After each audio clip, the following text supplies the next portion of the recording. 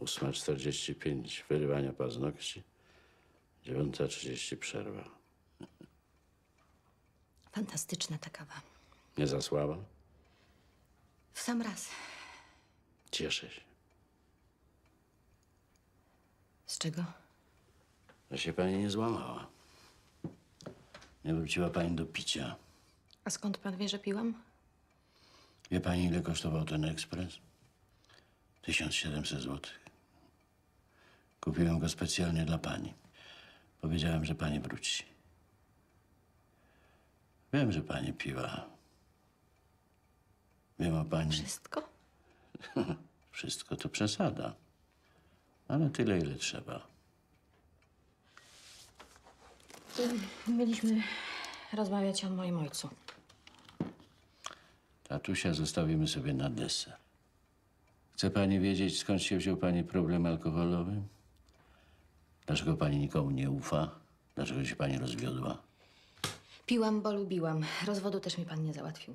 Jest pani pewna? Pani mąż został korespondentem prywatnego radia w Brukseli, prawda? Jednocześnie ktoś zadbał o to, żeby jego była dziewczyna dostała pracę w centrali swojego banku w Paryżu. Paryż-Bruksela, dwie godziny autostradą. Mają dwoje dzieci, wie pani? Wiem. To też pan zorganizował. Dzieci naturalnie nie, ale wszystko poza tym tak. Chyba go pani nie żałuje. Przecież to był dziwkarz. Brał wszystko, co się ruszało. Stażystki, sekretarki.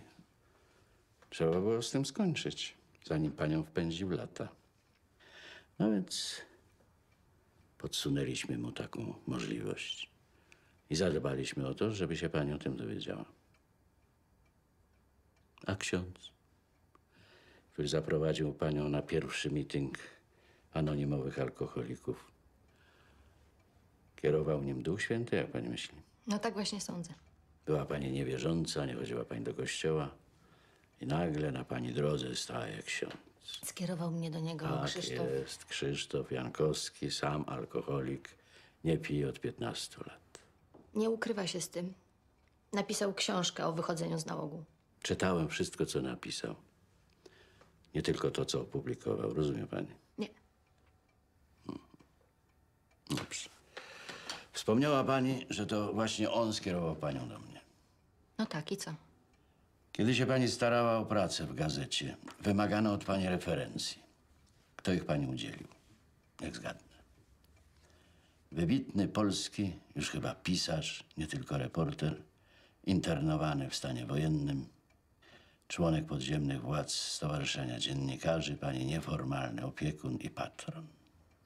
Do tej audycji telewizyjnej też on panią wkręcił. Komentarz dnia? Jak to się nazywało? Minął dzień, tak to się nazywało. Wyrobiła sobie pani twarz, nazwisko. Kupiła samochód. A propos, egzamin na prawo jazdy zdała pani za pierwszym podejściem. Też dziwne, co? Trzydziestu zdających, a tylko pani jedna zdaje za pierwszym podejściem, bez łapówki. Egzaminator trochę utykał, pamięta pani. Były oficer wojsk powietrzno-desantowych.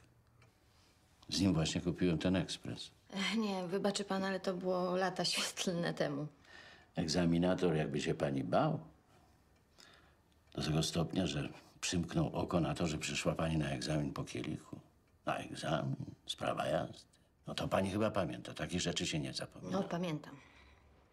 Czyli kontrwywiad załatwił mi prawo jazdy. Ten utykający egzaminator był od was, tak? No, może tak, może nie. W każdym razie widzi pani, jak łatwo uwierzyć we wszechmoc tajnych służb. Ja nie wierzę. Kłamać, to my nie umiemy. Za komuny przepadłaby pani pierwszego dnia. Kłamstwo to jest fundament komunizmu. Kłamstwo i nuda. Znudzić już się panu nie udało. No dobrze. Wróćmy do pani opiekuna. Krzysztof Jankowski, jakby to powiedzieć, no, spokojnie może żyć bez kobiet. Kiedyś na takiego mówiło się pedał, zresztą pani wyjawiam, co tam gadać. Naturalnie ma żonę, córkę, no ale jako kobieta pani go nie interesuje. Nie jest też pani krewnym. Można by pomyśleć, że popiera panią bez powodu. A może popiera mnie dlatego, że jestem zdolna? Może zależało mu na wykreowaniu dobrej, wartościowej dziennikarki? Takiej ewentualności pan nie dopuszcza. Nie dopuszczam, pani Hanko. Ponieważ ja wiem, dlaczego pan Jankowski panią popiera. Popiera panią dlatego, że ja go o to proszę. Pan. Od lat. A dlaczego pan go o to prosi?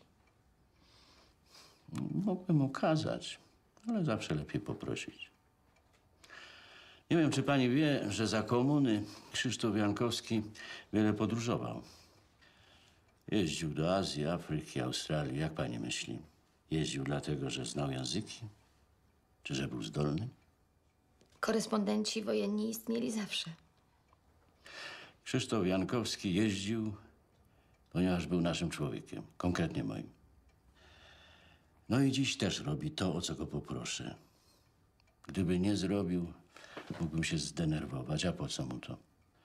Jako człowiek sukcesu ma dostatecznie dużo wrogów, którzy bardzo chętnie roznieśliby wiadomość, że za PRL-u współpracował z tajnymi służbami. Jego raporty dotyczą części jego dzisiejszych przyjaciół. Szantażuje go pan. Przecież mówiłem, że go proszę. A dlaczego pan to robi? Też mówiłem. Wykończyłem pani ojca. I dlatego ułatwia mi pan karierę, nawet zdobycie prawa jazdy. Tak? Właśnie dlatego. A kredyt mieszkaniowy, pamięta pani? Nie miała pani etatu, stałych dochodów, a dostała pani najniższe z możliwych VIP-owskie oprocentowanie. No to nie Jankowski przyznawał mi kredyt. Oczywiście, że nie. O to akurat zadbał zięć naszego oficera, zastępca kierownika oddziału banku. Potem poleciła pani ten bank znajomym, takiemu małżeństwu. Pamięta pani, że taki miły, ludzki pan zawsze odprowadzał panią do drzwi. Oni poszli, a on ich odprawił z kwitkiem, mimo że mieli etaty, żrantów. No i teraz już nie są pani przyjaciółmi. Przyjaźnie się kończą, to normalne. Tak, ale nie wszystkie. Nasza na przykład Słucham.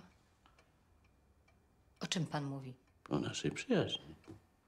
Pan nie jest moim przyjacielem. Jestem.